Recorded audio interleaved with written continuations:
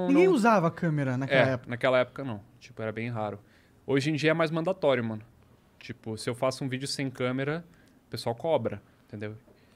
E, e também tem um ou outro tiozão que cai de paraquedas e. Por que você não desliga a câmera? Tá ligado? Tira essa câmera. Ó, tipo, o cara comenta, tá ligado? Ó, não sei se você percebeu, mas você tá aparecendo no vídeo. Vai um pouquinho mais pro lado, tá O ligado? cara só quer ver o jogo. pô. Sim, sim. Não, mas é muito, muito raro mesmo, tá ligado? Que pira. pois é.